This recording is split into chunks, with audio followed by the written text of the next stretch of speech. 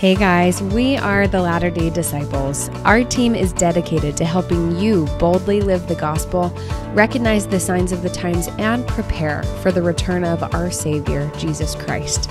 We invite you to join us in our mission through our daily and weekly podcast series, connecting with us on social media, and visiting latterdaydisciples.com. We pray you are enlightened and empowered through this podcast episode. Thank you for joining us.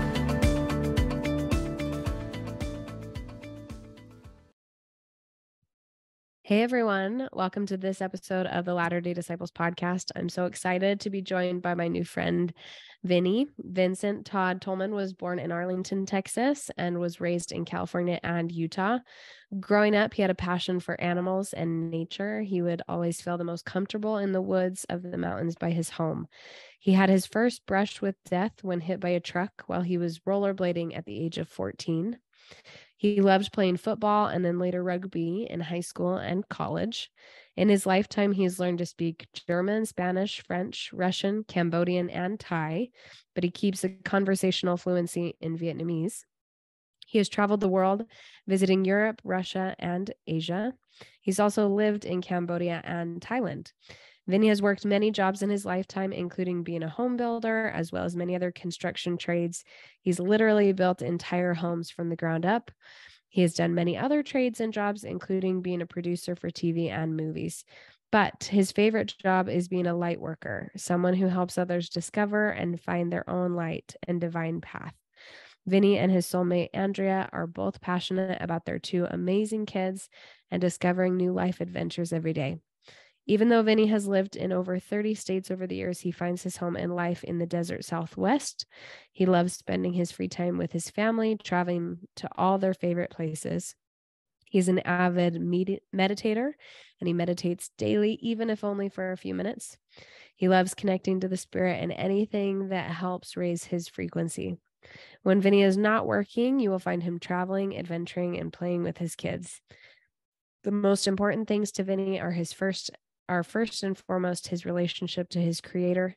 Secondly, loving his family and all those who come into contact with him. Vinney, thank you so much for joining us today. Yeah, thank you, Meghan. Uh, it's my pleasure to be here. Absolutely. Well, I so appreciate it. Just in the brief time that we've known each other, you've been such a light and you really do know how to connect to the spirit and to bring it so strong for those around you too. So thank you for sharing your gifts with us today. So we wanted to talk a little bit about um, Vinney recently had a book that he published back in August called The Light After Death. And it's an account of a near death experience or a death experience, rather, that you yeah. had when you were about 25 years old. Um, can you go ahead and just start us off with this story in as much detail as you feel like you'd like to share? Yeah, absolutely. Um, so this all happened back in 2003, which uh, just just barely had my 20th death anniversary uh, back in January 18th, and um, ended up overdosing on a natural supplement um, that was new at the time. And what I didn't realize, and my buddy didn't realize, we took it together, is that the supplement that we were purchasing online was a 100% solution, and the the version of the supplement we bought here in the states was actually a 95% watered down solution so uh, or a 5% pure solution. We just got a, a, toxic dose of this liquid supplement took a little bottle cap of it that's all it took and instantly felt sick. We ended up uh, going to a dairy queen where i went in the bathroom and i literally died. Uh, but my buddy he went into the the dining area collapsed on a booth vomited um, they called emergency services, took him to the hospital, and he ended up being fine. He was kept overnight. They pumped his stomach, and he ended up being just fine.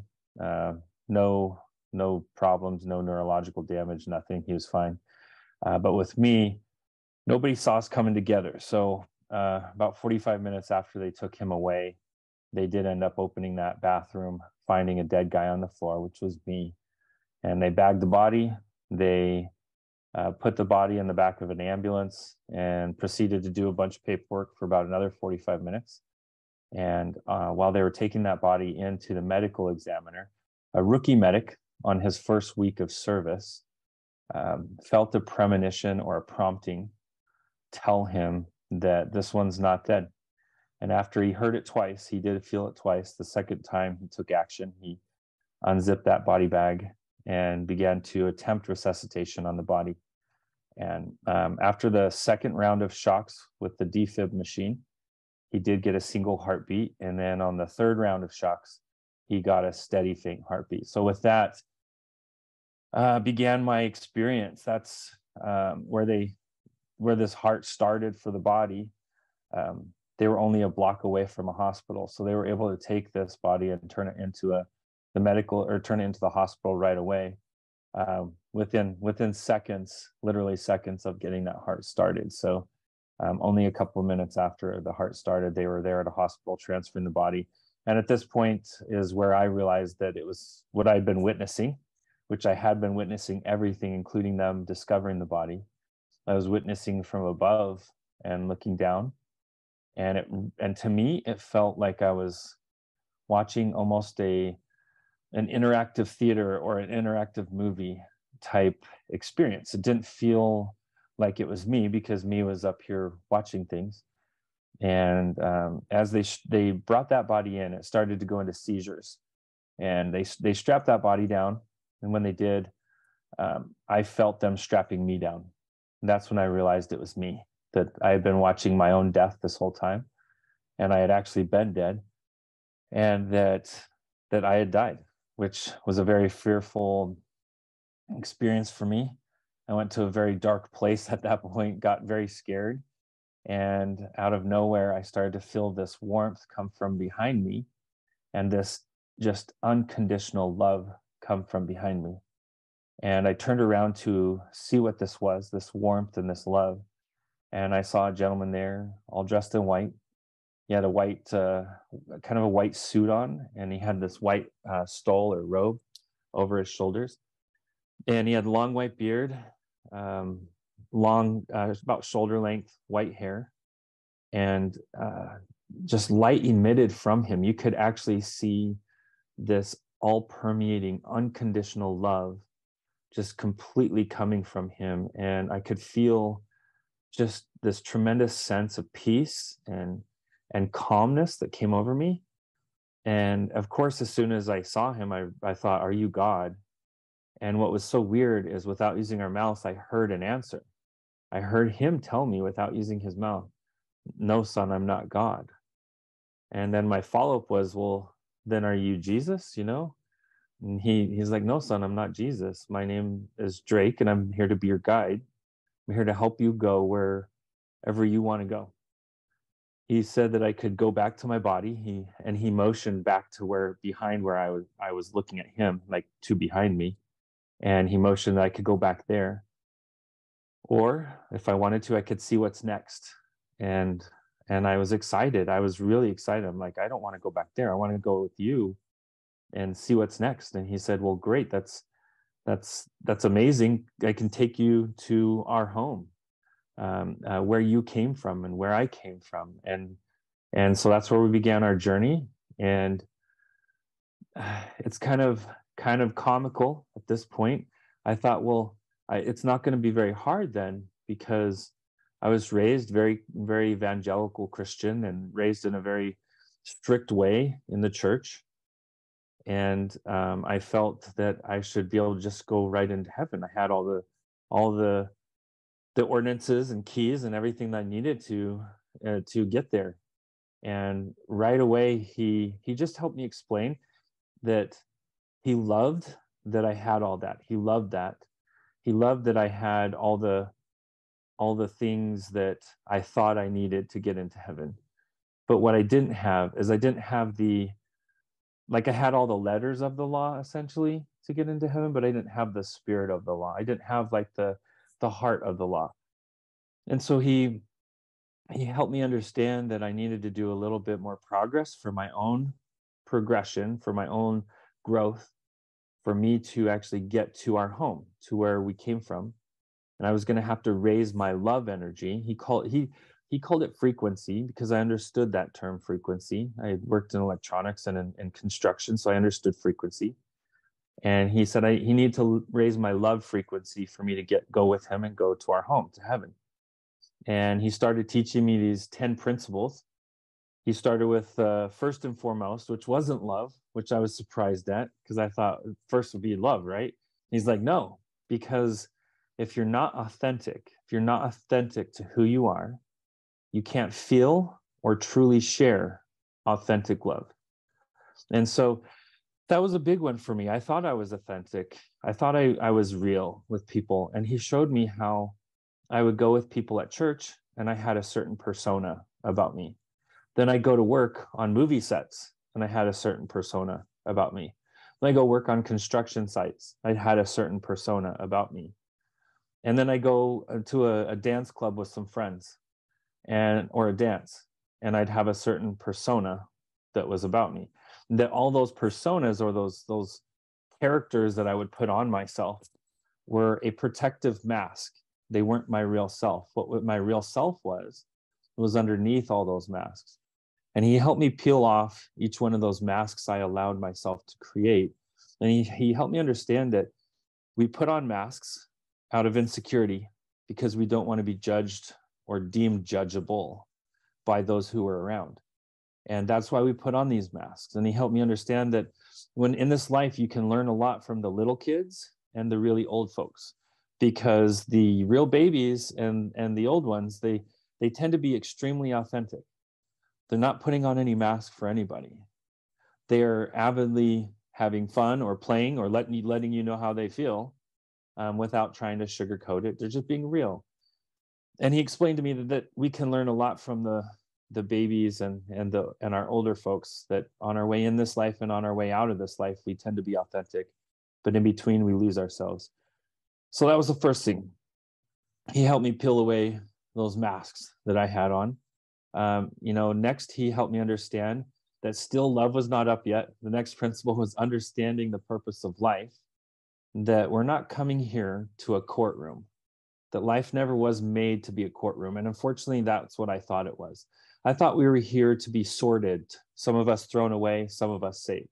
I really believed that.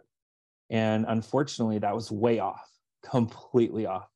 And he helped me understand that in the earthly realm, if you're a, a good parent, you're never going to give up on any of your kids. And that's in the earthly realm. And our, our, our God, our creator, our heavenly father would never throw away any of us. And that life is a classroom, not a courtroom. We're here to grow as fast as we can or as slow as we can. It's our choice. But that's that was a fundamental principle that I had to understand that that life is the the classroom, not the courtroom. Next is to understand love.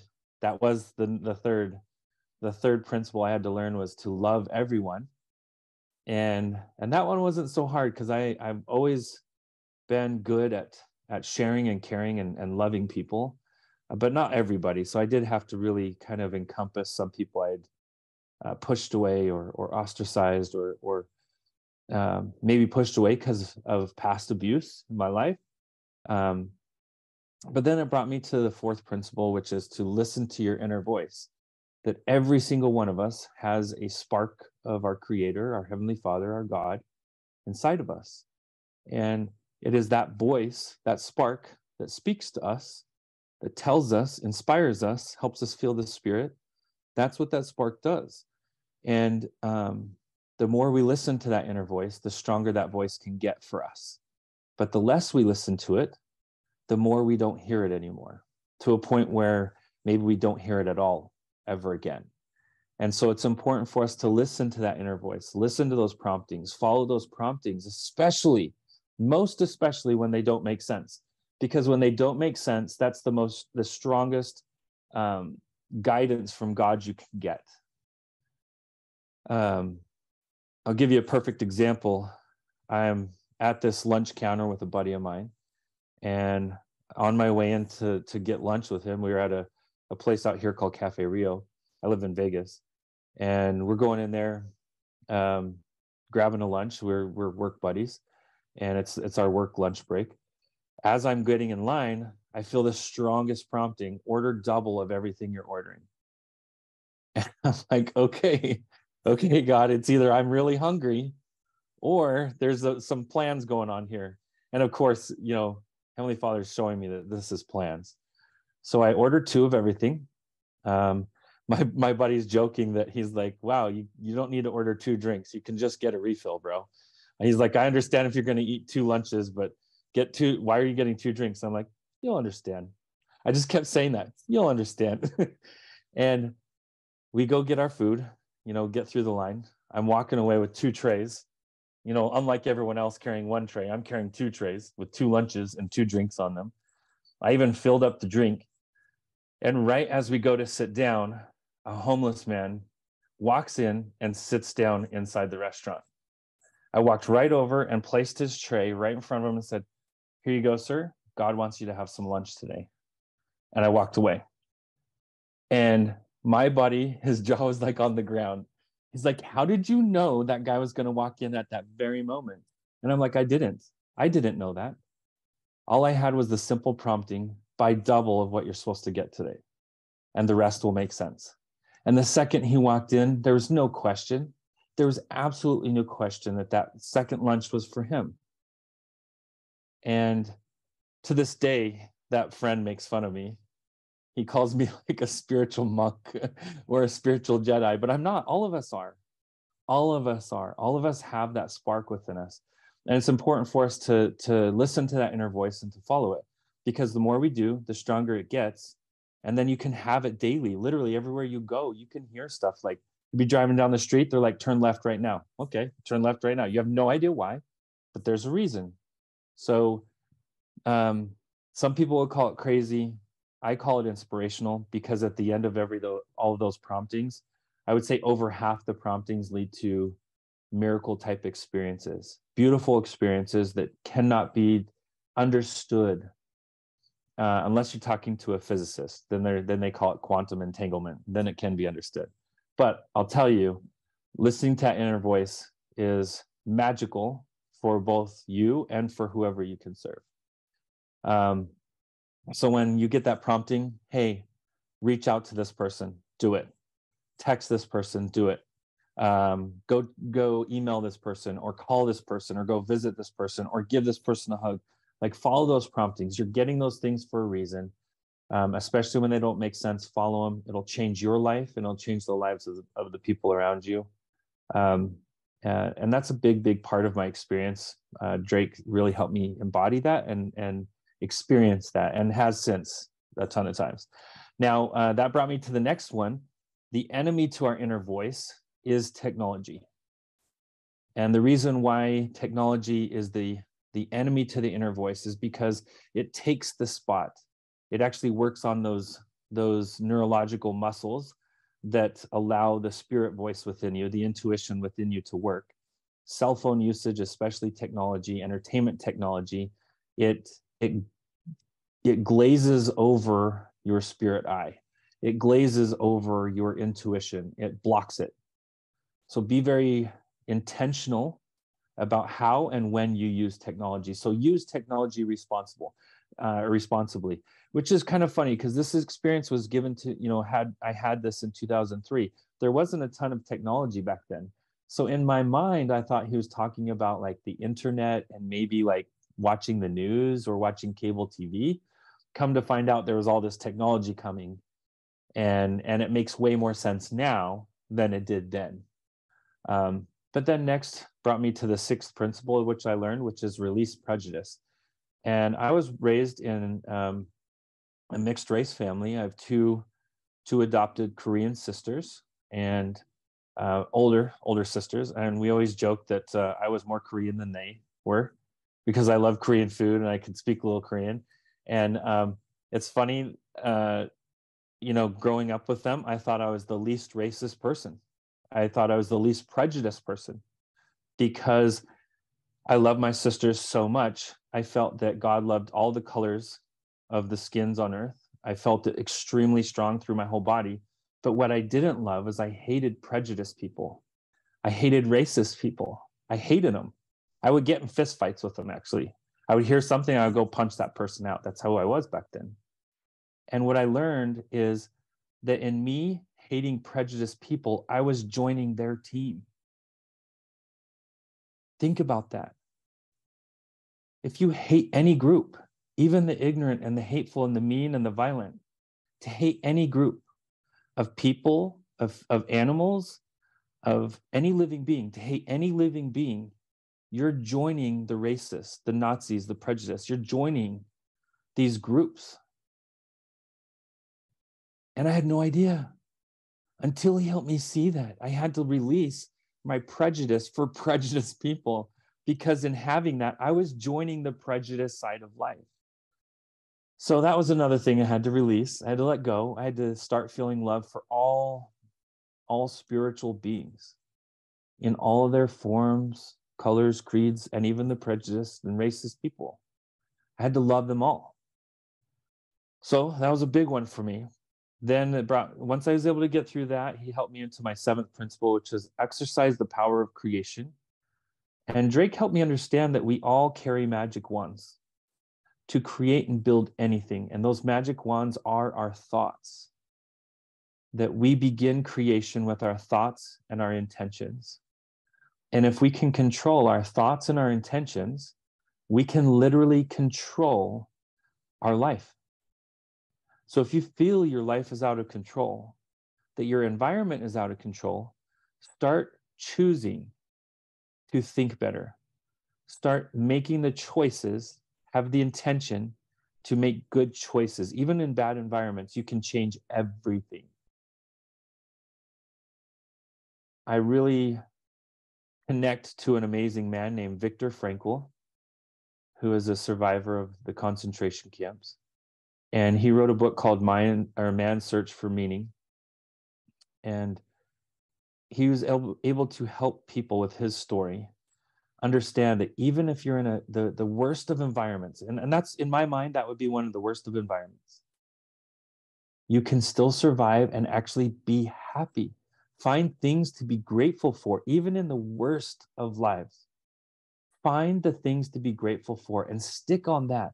Focus on that. And you'll be able to bring more good in your life, even in the worst environment. So that was the the seventh principle is uh, exercising the power of creation, which is mastering your thoughts. And that led me to the eighth principle, which is avoid negative influences because they affect you having negative thoughts. Um, and what that means is really be careful what you allow in your energetic body. And when I say your energetic body, I mean what you allow yourself to view, what you yourself allow yourself to watch, what you allow yourself to listen to, what you allow yourself to see and and and eat.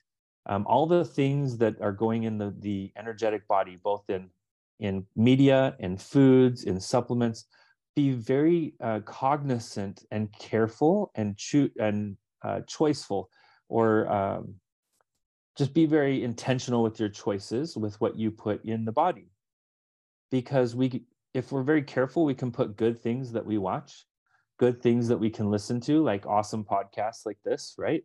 Um, you can um, really choose good clean things to go in the body by eating. And and in doing so you're going to help the mind so it can make those good thoughts and make good creations. But when you're putting toxins both in entertainment entertainment toxins are going to be like violent shows bloody shows sexual shows these are going to be shows that um, are toxic to your energetic body. When you're allowing yourself to see or even listen to these things they affect you and they make it so it's harder to choose positive in your thoughts. And um, so avoiding negative influences is, is once you understand that you're in control not the world not your environment you're in control there. If you're around someone that's very toxic with their language and, and their their nature speak up or put a pair of earplugs in and don't allow yourself to um, be influenced by that which brings me to the ninth principle which is understanding the purpose of evil. And yes, there is purpose for evil. To not have evil would be like to have a gym with no weights and no treadmills. And you, if you have a gym that doesn't have any um, athletic equipment, no weights, there's no resistance to help the body grow. And life here is the same. That life here uh, it requires evil for us to choose good, and if there is no evil there's no choice. It's just good. And and if there's no choice there's no growth. The same as the gym. If there's no no resistance no equipment to help you no tools then um, you can't you can't grow. Which brings me to the last principle which is know that that we are all one in in god's family that we are all fingers on god's hand. We are all creations of god and that to harm or hurt or hate another create uh, another creation another one of god's creations is to hate or harm or hurt god literally. So i needed to understand fully that we are all one in in our creator our father in heaven who created us and um and to make sure that i understand a principle he Drake called it the principle of the pointed finger that if you if you're pointing a finger at someone saying that person is so bad, you're pointing one finger at them and you're in essence pointing one finger at God, up to God, and then flip that hand over. And what do you have? You have three fingers pointing back to yourself. So what happens is when we put bad energy out and we say that person's so evil, or that person's so judgmental, or that person's such a bad person, I'm saying that about that person. I'm also sending that same energy up to God, my creator, and saying, Creator's bad. And then I'm saying, I'm bad three times, three times worse than anything I can put out to anybody else. But what's really amazing about that, that principle of the pointed finger, is I can say compliments, I can say blessings, and I can say positive things, and putting one positive out in the universe, putting one positive out in the world, puts a positive, a loving worship to God, my Father, and also puts three good positive energies back on myself. So it's very important that we understand that because we are one, we need to make positive deposits out there, make positive comments, make uh, loving comments, and put that energy out there, and you'll get back three times what you put out, both good or for bad. But understanding that principle of the pointing finger is very important for us to understand that. In understanding it, we empower ourselves, we allow ourselves to fully be in, be empowered to grow and to connect better to our our heavenly father to our creator. And and at that point i actually started to see heaven and and see this great amazing s- space which in realistic it's real it's real it's a real place. Um, i would call it a planet but it's way bigger than a planet. It's bigger than a sun. Um, you could probably fit like a hundred of our suns inside of this place. It's just huge. Just bigger when bigger than what your your brain can comprehend. And and actually in getting my story written down and documented it took us a few years because the whole experience is so far outside what our human words can describe but as i'm seeing this sphere this this planet um, i'm getting close and i, I get to see um, actual heaven and we touch down in heaven. I actually felt the grass. And to feel the grass in heaven is to know god to know who god is to truly know who God is. Because there's so much love in that entire environment there that that there's no outside light there because everything there emits light emits love that even the grass glowed just brightly of God's love and to even touch it you could actually taste that love the sweetness of it you could smell it you could, there was even a, a musical tone coming from it that is more beautiful than than the most beautiful concert or concerto I've ever heard. There's just nothing here that's even close. There's no instruments here that can play that music. But I'm telling you, like that's just the grass. And then I got to see flowers. I got to see trees. I got to see um, water and the healing power of water. And I was raised in a, um, I was raised in a church, but I was raised in a very physically abusive and, and emotionally abusive home. And I had so many black holes in me, so many. And when I felt that water, that you know, I was actually in heaven. So I, I can, you can even get to heaven even through your trauma, which I was there. I was there. But that water, it loved. It just, it's so hard to say, but that that water was so cleansing. It was so clarifying and helped me understand that I actually had made a loving agreement with my dad to to be my abuser and that that it helped shape who I was so I could have this experience, that very experience I was having. And I wouldn't I wouldn't have been aware of any of this going on around me or any of this conversation if I didn't have that abuse first. Because that abuse made me hyper aware of everything around me. And that water healed me of every tiny little crack and crook and and and little black hole that was beaten into me my whole life and and you know i felt completely healed and that was like a such a sense of completion for my journey because i was able to start feeling love for my father my human father who was my abuser and feel how much i love him and how much god loves him and how he was abused and how his dad was abused and his dad was abused and and how it went far up the line and he gave me way easier than he ever got and that was his gift to me was to not go as hard on me as what he got. And how much i now loved him which my whole life i hated him my whole life. And now i loved him. And this this water was just so such a blessing. There's no other word than a blessing how it changed me. And i can i'm i'm a different person today because of that experience. And while i'm there while i'm there having this whole experience drake comes right in front of my my countenance like gets right this whole time he's to my side almost the whole time. He's showing me stuff showing me the whole universe. Any question i have he just wants to show me everything. And and then i'm learning all these principles as he's just showing me everything. And i'm so excited because i'm i'm so excited to just know all this stuff. And he gets right in front of me for the first time like right in front of me and he goes Vinney this is going to be hard but it's going to be worth it. And he came in and he hugged me.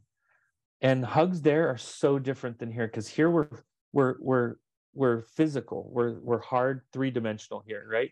There were energetic bodies which they're physical too but they can actually go into each other and become one for a second as they hug and and so he, as he gave me this hug we actually came together like this. And my own light just compounded four times brighter than i felt. I felt my own love capacity went four times greater. His love went four times greater and he had such bright love and, and bright light about him already. And it was such, such a beautiful profound experience, life-changing experience, just that hug alone. And I felt I felt God hugging me through him, through Drake, which he was a worker for God. He was a he was a messenger, not an angel, but he was a he was my guide. That's what he kept calling himself was my guide. He was my guide. And as I was feeling this, out of nowhere, I start hearing a priesthood blessing being given to my body.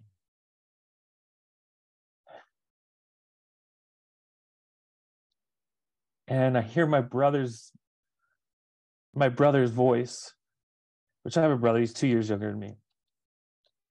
And we were abused together quite a bit our whole life. So we we would take it out on each other a lot. So we had a, a we had our own abuse towards each other. And I felt just this this crying out to God to please save his brother.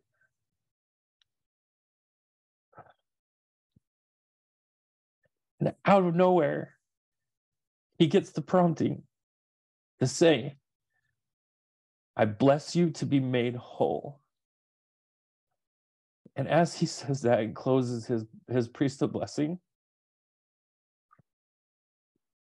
I woke up. I woke up in my body. I was I was dead for well over an hour. They think at least an hour and a half. I was brain dead for three days. The whole time I was in heaven, it was the three days I was brain dead. I was in a coma and I woke up. I woke up to a bunch of medical professionals calling me a miracle. I felt cursed as hell. I felt like I got to have the best thing to be given to any one of us. And then, out of love of all things, I was forced back, my agency removed, my choice removed. And that's when I started to realize that I needed to listen to my guide, to Drake. He promised me it would be hard, but it'd be worth it. And so I did come back and and I did Google like what's the most dangerous job. so maybe by chance I could go back to heaven really quick. Which I found out it's underwater welding. So anybody who does that, major props to you. Next most dangerous was uh, crab fisherman. So I looked that one up too. I, I was looking. I literally was looking into one of those jobs. I I even had signed intention papers to go move up to Seattle and then Alaska to do uh, crab fishing in hopes there would be a slippery deck and I could go back and see Drake and go back home. Um, but you know what? Every time I got the very strong prompting, and I and and by the way, after this experience, the promptings were like 20 times stronger than before. And as I followed them, they just got stronger and stronger and stronger.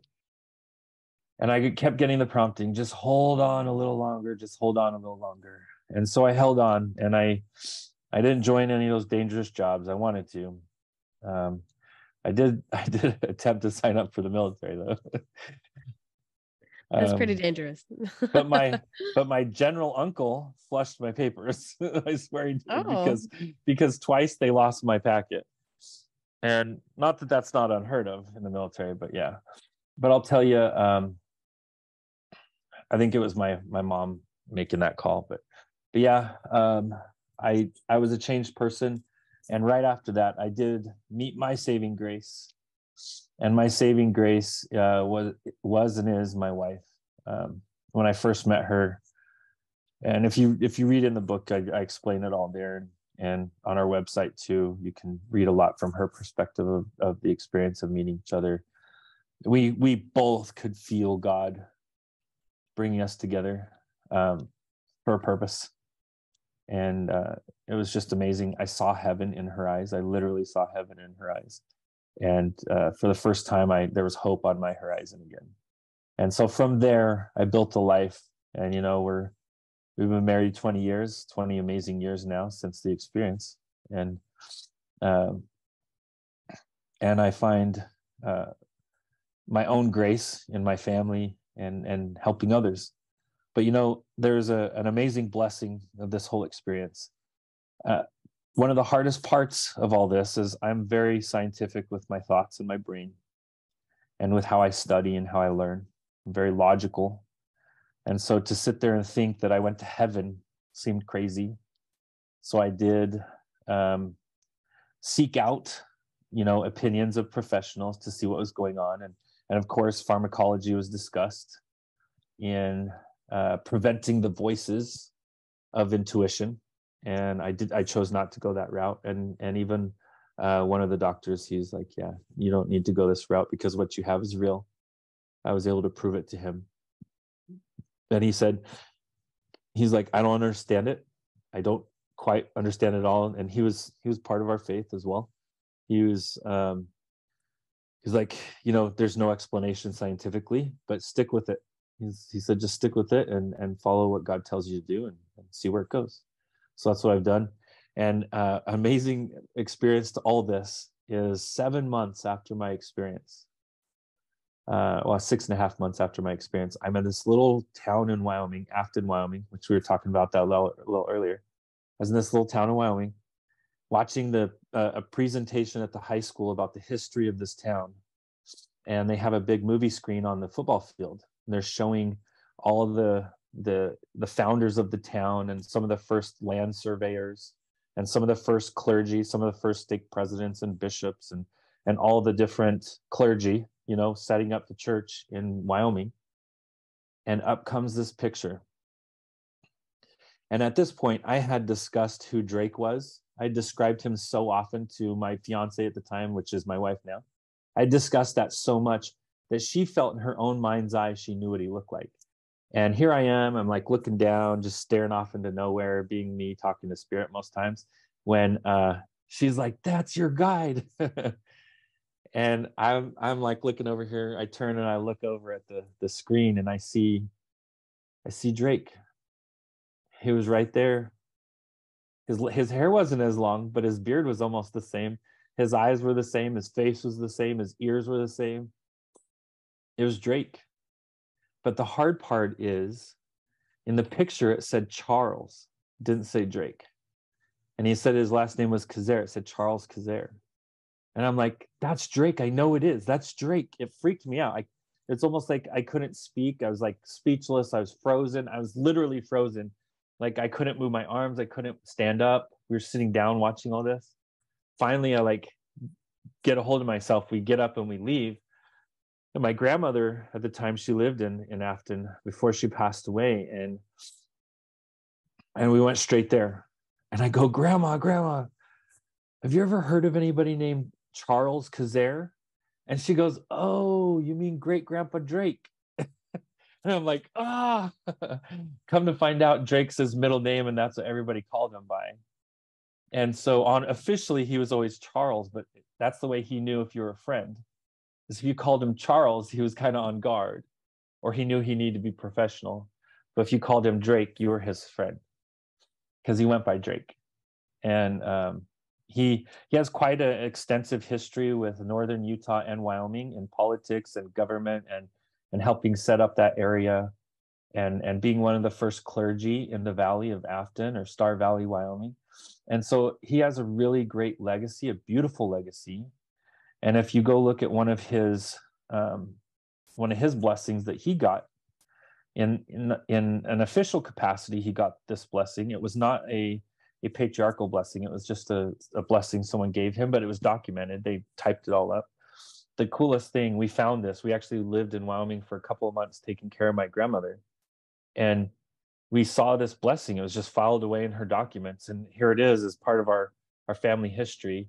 We're looking at it and it has like three paragraphs about his life and what he's going to do on earth.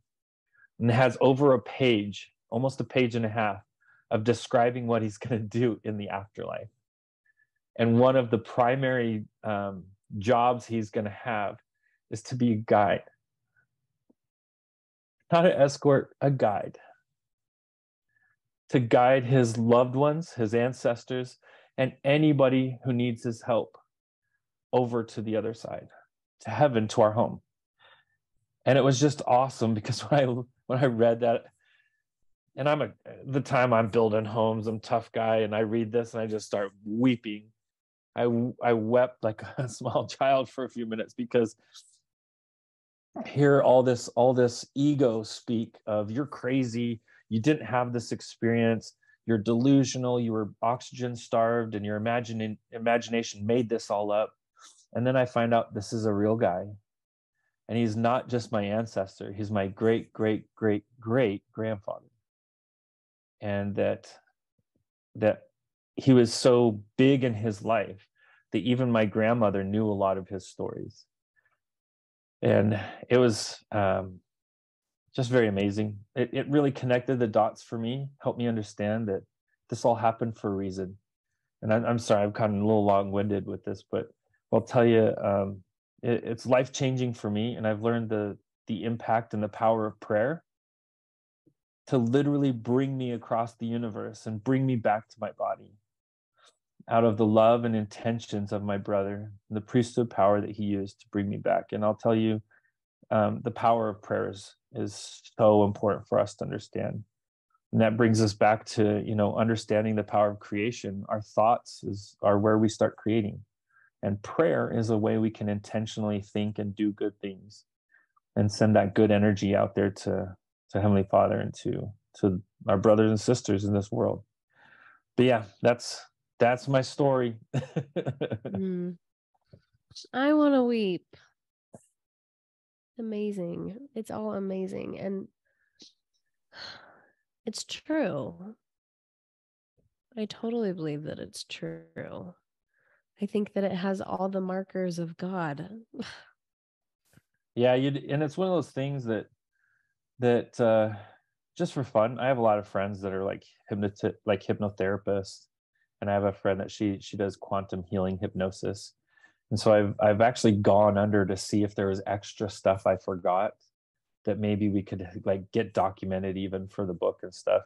And each time, um, my same experience. Like on the dot and and which is really cool for me it's it was a confirmation for me but you know i don't share my experience to try to convince anybody of anything but if it speaks to somebody and it, and if it does speak to you awesome.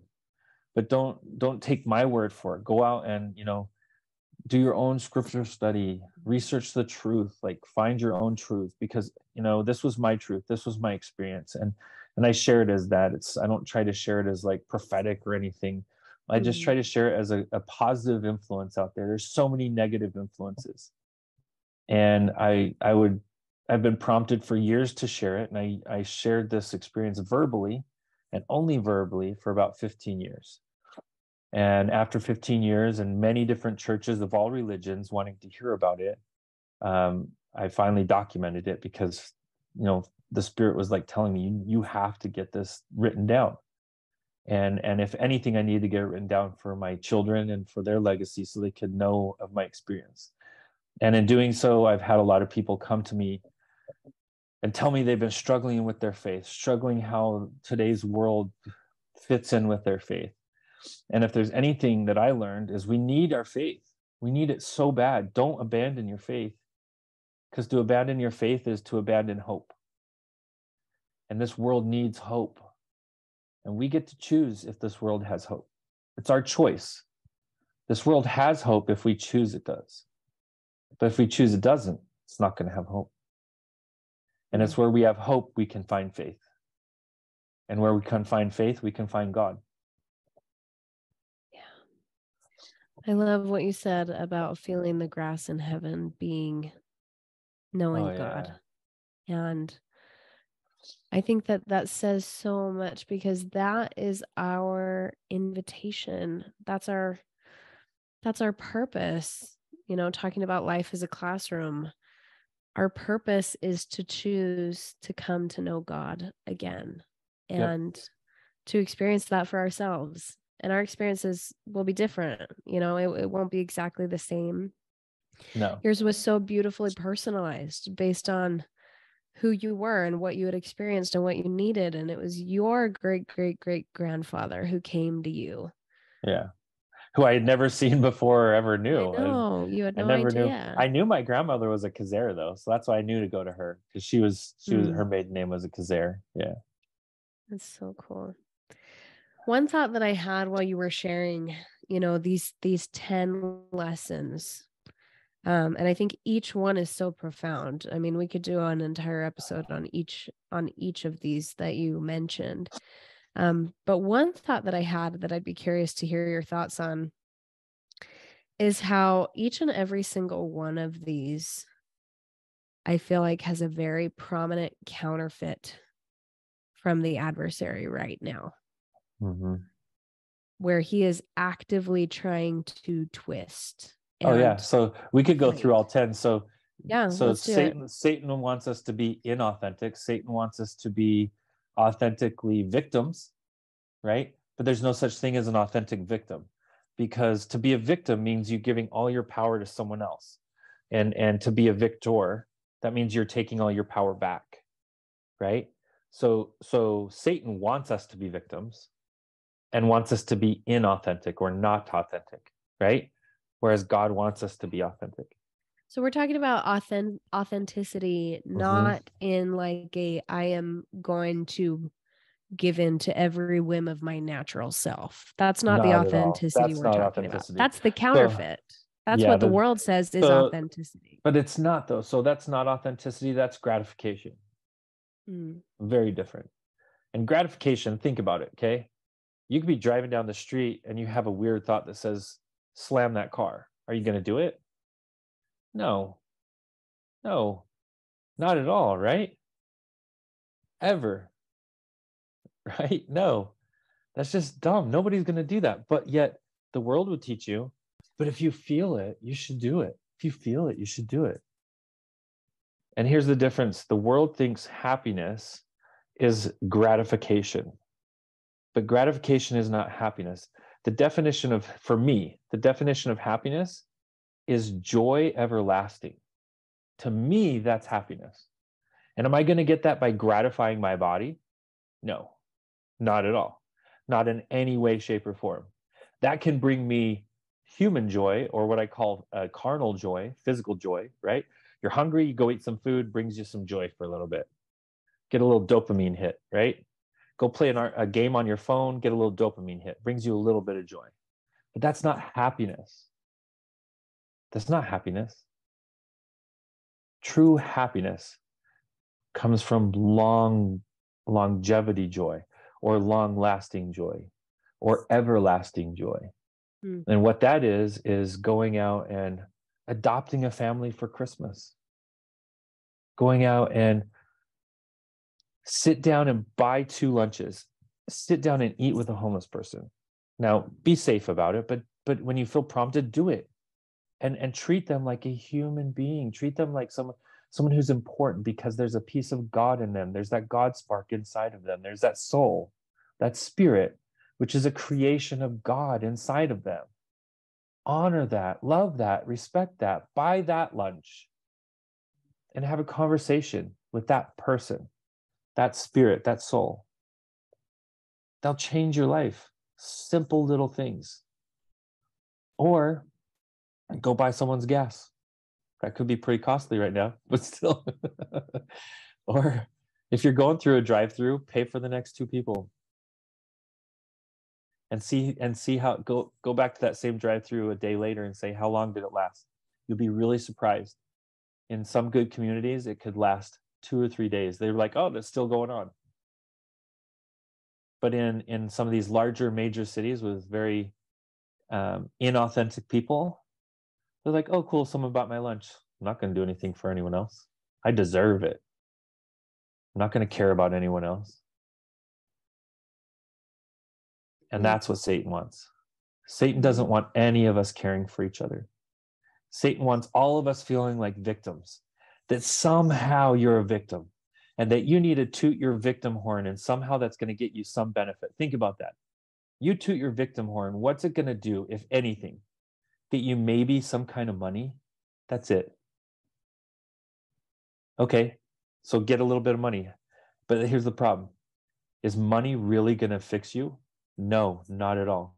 Because now you've proven be a victim, get money. Think about that programming as a human being. I I know firsthand people in and out of the church that actively look for lawsuits to be victims. Now, is there a time and a place? Absolutely. But don't go looking for it. Don't go trying to attract it. Don't go trying to find it. Be authentically loving others and not trying to to seek to gain from everybody around you. For once, go out there and, and serve. One of my favorite uh, sayings is from uh, JFK. You know, ask not what your country can do for you, but yet ask what you can do for your country. I like it better if you switch out God for country. Don't ask what God can do for you, but ask what you can do for God. And here's what's amazing if you feel that you're lacking love, ask God this in prayer How can I feel, or how can I make others feel loved? And follow that inspiration that comes to you when you ask that. And when you follow it, all of a sudden you're feeling loved. You didn't do anything to be loved, but by sharing love, by giving love to others, you now feel loved. That's the answer. Whatever you're lacking, go out and give to others and you will feel the gain of what you're giving to others. And that's an equation. It works every time. As long as you you have your heart in it, it works every time. Yeah. And even if the heart part takes a little bit, it does. Like sometimes, some, sometimes, some, sometimes you yeah. go through the motions for a little bit before before you start to feel it but i've i've experienced that on my mission we were talking about earlier when i was in the mtc I had a really challenging companionship and uh, very toxic we were very toxic to each other and i found myself praying constantly um, just trying to survive honestly and one of the thoughts that i had one day was to serve her and she kind of told me, she's like, I don't need your service. And somewhere in my mind, I knew it's not really for you. I mean, it is, it is. And like I went through the motions until you, I yeah. did, until I did come to love her. Um, yeah, I think that that's a really So so let's take that let's take that principle that you just shared. That's complete inspiration. I hear all the time, I want to get a divorce because my spouse doesn't make me happy. That says, I have no power. I gave it all to my spouse and now I don't feel happy. That's what that says to me. But look, look at what you just taught us today with your experience. What's the best way to feel love for someone? Serve them. And and here's what's weird. There's a psychological syndrome associated with that. They call it Stockholm syndrome. Serve who you want to love and you'll start loving them.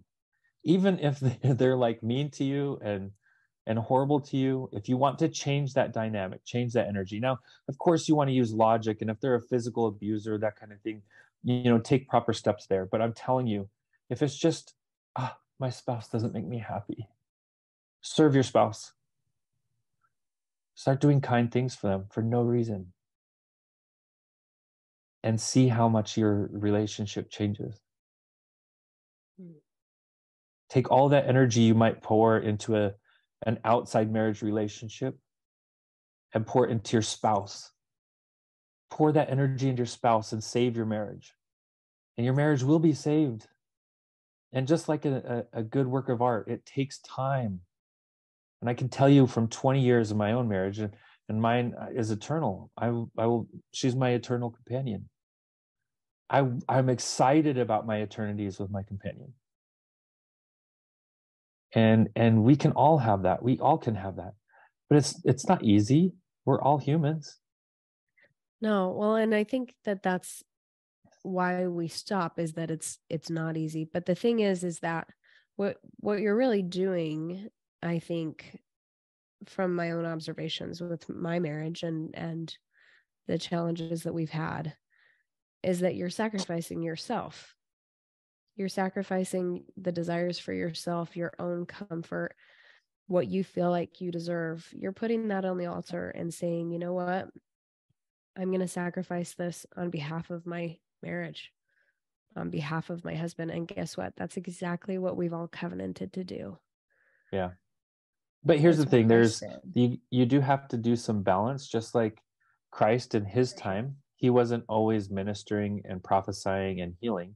He would go and meditate, he'd go and wander on his own. He would not even allow the apostles to go with him. He would go and and pray he mm-hmm. would spend time to refuel his his energy so he would have me time where he was taking care of him because he knew he needed to he needed to talk to his father to to god and and Right. To connect you know and so we have to connect too so keep Right. connected to god keep that's where you recharge your batteries and and then when you do need to throw some energy into that relationship go do it do it through service and it's going to change things that works with work too though you have a bad boss, go serve him or her. You have a bad coworker, go take him to lunch. And when they ask why, just be like, because I want to. And and and see how that changes. It will change things. I mean, it's that essence that you said of of loving everyone, right? Yep. And of recognizing that we all belong to God and that he loves each of us and any negative feelings we have towards each other are negative feelings towards him in a way. I I totally that totally resonates. And it's funny, you know, in our in our faith, we we fully believe that we're all spiritual brothers and sisters. That's why we call each other sisters and brothers. But how easy is it for us, someone who's not in the church, cuts you off, you, you're like, ah, that bad driver, or or someone messes up your your plane ticket, and you're like, ah, I can't believe you made a mistake. You're human. What? You know, it's like we get so upset and forget we're speaking to our brother or our sister, even if they're outside our faith, especially if they're outside our faith. Mm. Yeah, that's a really fun exercise I've had. um, was inspired to do at one time, uh, kind of related to that idea also that we talked about of release of releasing prejudice. Yeah. And what's interesting is I feel like in the counterfeit um, of what the world is pushing, it's kind of what you were experiencing, where it's it's still prejudice it's just kind of reverse prejudice it is yeah Um, if you can if you can hate any certain group of people no matter what you're choosing as your reasoning for that it's choosing to be a part of them. It's- yeah. it's it's, choosing to be a part of what you hate in them. To hate Mhm. them your, itself is to to join their ranks. So if you don't want to join the ranks of the racist the prejudiced the the chauvinist whatever then don't hate them. Stop hating them start loving Yeah. them prove them prove them otherwise Right, right. Which I think is really interesting for us to think about, just, you know, generally speaking, as the body of the church, because one of the things that I do think we tend to do that we don't even necessarily recognize we're doing is that if there is any scripture that speaks negatively of, you know, a, a group or, you know, a philosophy like, you know, unbelievers or adulterers, fornicators, you know, all, all of these lists. We love to say, oh, this is referring to other churches. It's Mhm. referring here's to the other. here's the funny thing as members of the church for us to judge another being another being whatsoever is to think that you're god because really who's the judge who's the judge god so for you to sit there and think you can judge you think you know better than god. Right. and we don't. Well, and I, I see think about that. think about jesus's life. When did he ever go out and throw away a whole class of people because of their belief and faith? You think christ didn't work with egyptians? He lived there. Did he call them pagans? Did he call them you know heathens? No not once. And what what did christ do when the sinning woman came and met him at the pharisee's house. And she came weeping. And she she literally washed his feet with tears and then anointed his feet with oil. And what did the pharisee te- say to her? The pharisees like or what did the pharisee say to jesus? The pharisee says oh you must not be the you must not be the son of god because if you were the real son of god if you were the real messiah the real messiah then you would know that she's a sinner and you would never let a sinner touch you that way. And he's like oh then who are you? You let me enter your house without anointing my head? You let me enter your house without washing my feet? Without even dusting off my feet? Which to their culture that was the same as saying like f off you know like flip someone off or something. It was horrible in their culture to if you respected that person at all you would anoint their head as they entered your home as a guest. Then you would offer them at least to have a servant clean their feet. Or if you really loved them you yourself the host no matter how old you were you would get down on your knees and you would clean their feet for them and then anoint their feet but did the pharisee do that? Did the did the super righteous person of his day do that? No he judged jesus. Who was he to judge the son of god? Who are we to judge children of god? That's not our position. For us to do it ever even once is a sin. Hmm. we have no right and the, the second you think you have a right to judge someone go live their life for a year. And i'll tell you after one week you'll come back and say oh my gosh everything's changed. I had no idea what was going on in their life. We can't judge each other. We- can love each other. No matter what someone says to me i love them if they ram me with their car. I love them if they flip me off i love them if they cuss at me i love them if they rip me off i love them that's just a fact. But it's because of my experience. But we don't need to die to, to know this. We can study the scriptures and learn this. We can study our savior and learn this. He's the perfect example. Yeah. I think it's important for us to not to um become an underwater welder. yeah. Um, not to not to not to seek death experiences because that's no, not, we don't need that's that. not going to go over well. So here's the funny thing we can pray and we can connect to our Heavenly Father so easy. But unfortunately, this is a problem in our church. We drive up to the the the drive-through window or window uh, window at Wendy's.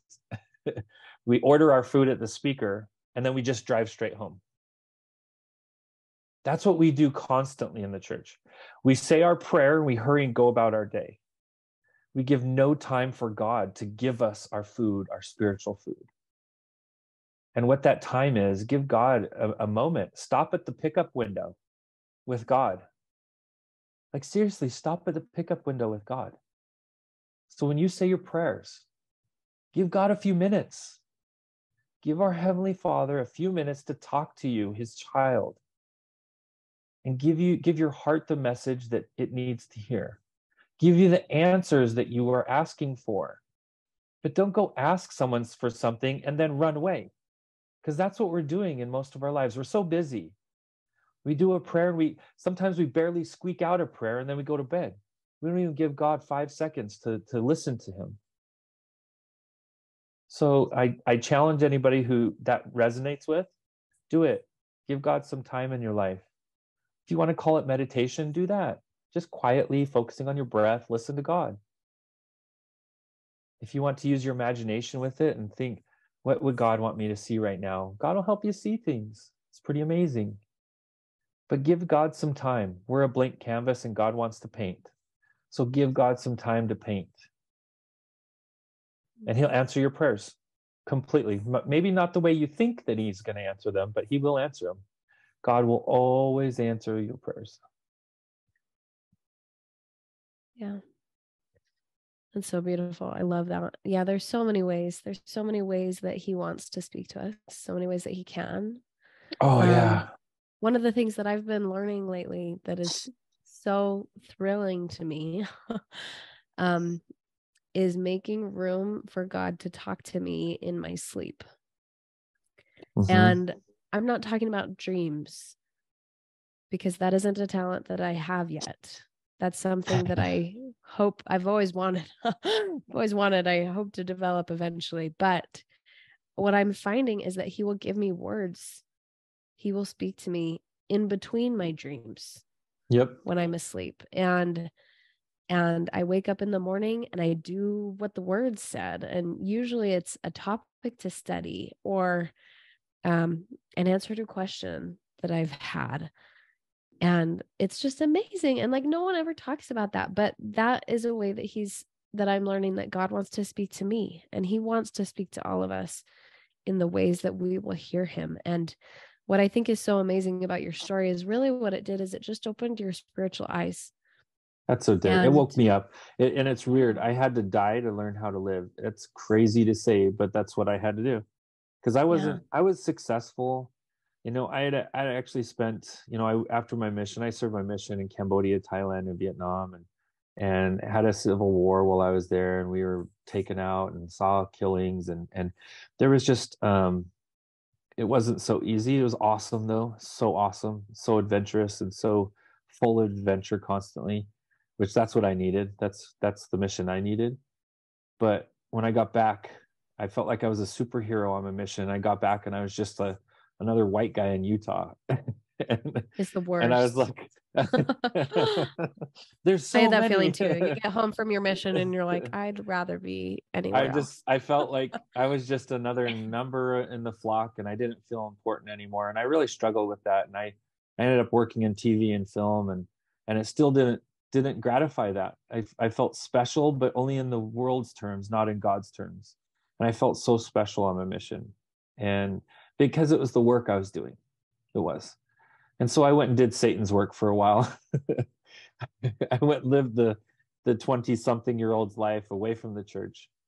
And it was the loving grace, the loving grace of Bishop Jeffries. And he lived out in uh, Cedar, out on the other side of Utah Lake, Cedar Fort, Cedar Hills, something like that but he's a trucker and an amazing man. And um, He never gave up on me. He called me every single Friday night, or no, Saturday night. He called me every single Saturday night to see if I we wanted to come to church, if I needed somebody to take me to church or whatever. And I would tell him, I'd be honest, I'm like, nope, too hungover. Sorry, bro. or whatever, right? And I was living that life. I was living outside the church for for a few years. Um, but when I came back, he was my door back because he never gave up on me. He called me for years, every weekend. And he told me the second that I could come back and and be a participant in the church again, that he'd give me a calling and I'd feel some of that purpose again. And of course, the first calling he gave me was activities committee because I was very good at activities. so um, the the love that he showed me was just tremendous, and and the grace that he showed me. He never judged me, not once. And and he had plenty of opportunities. I wa- I was throwing him opportunities with the phone calls. I was trying to get him. I was trying to get him to trigger me by him judging me, and he never did, not once, ever. Now everyone else did. Even even some people in my own family were judging me at the time.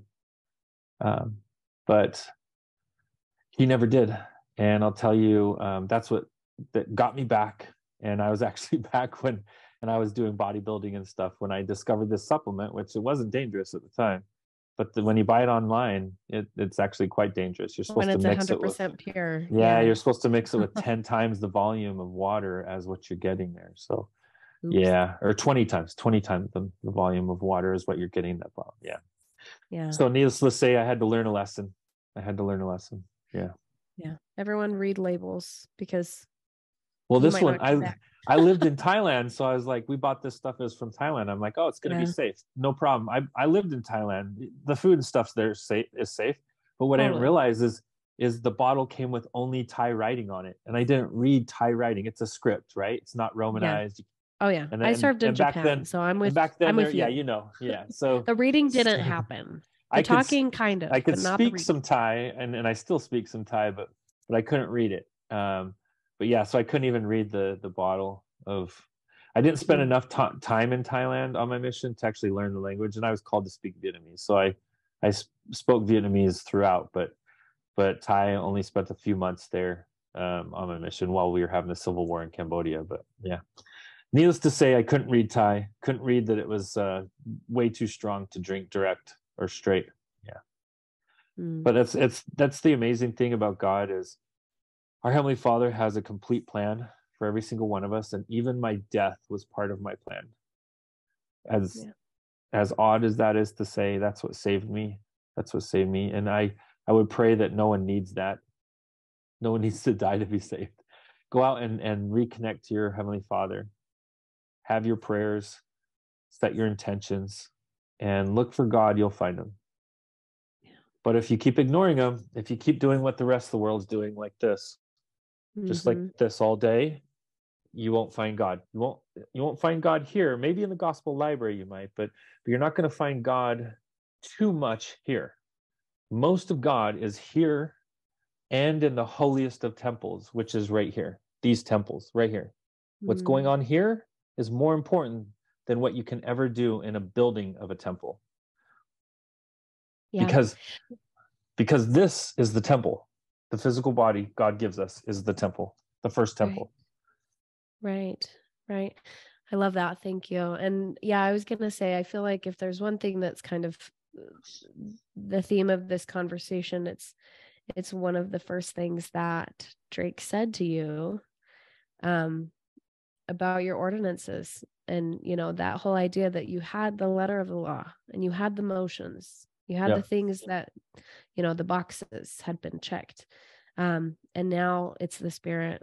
We've got to we've got to connect with that spiritual side of those ordinances because those are what make you become and here's something. here's what's weird. We can pay our tithing every sunday. We can go to the temple every week or every month we can do all of our ordinances take the sacrament regularly. We can do all the stuff that we within the faith um, are supposed to do right? But we can allow our heart to stray far away from god. And how do we do that? Right here right here. What we're watching right here what we're doing here is what our heart is doing. And think about this. Think about how they describe the Antichrist as the silver tongued serpent that will have a whisper in everyone's ear and will be in the back pocket or in the in the in the in in the confidences of all people. What is that? That's our phones everybody. That's our phones. That's our technology. Does your phone have a whisper in your ear? Constantly and does it is it in the confidences or the closeness of who you are constantly so it can be a tool for great good or a very very strong tool for great bad so don't, you know, protect your heart, spend time with God, not with your phone, but with God. Go out in nature, get out in the sun, walk around. I know in, in Idaho and Utah and Wyoming, it's very cold and icy. You can still get out in the sun. Uh, maybe go find a sauna somewhere. yep.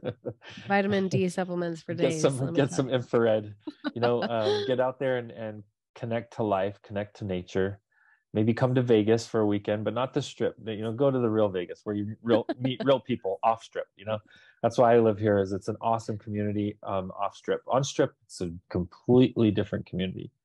And yeah, um, most of us who live here never go down there, except for maybe for a concert or something. You know, mm-hmm. um, but I'll mm-hmm. tell you, it's uh, you know, get out there, connect to God where you can, and um, you know, I, I do a technology fast here and there. This last week we did a, I did a, a five day. My wife did a three day. My daughter did a three.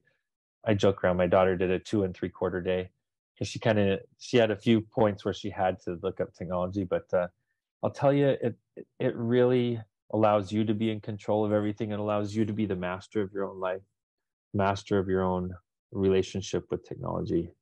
That's important. That was a, a really important principle that I learned and that's a principle that's important for all of us today. Yeah.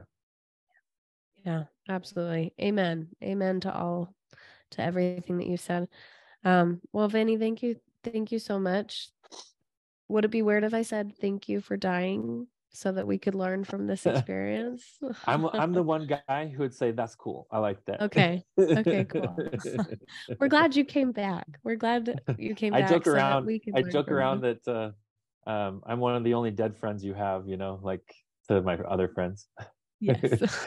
uh, I love it. Well, I feel so uplifted and enlightened. Thank you for sharing your spiritual glasses with us for just a little bit. And God bless you and your family and um, all the good that you're putting out into the world. Um, I believe that you're right. All of that will come back, and uh, we've certainly been the beneficiaries of that today. So thank you.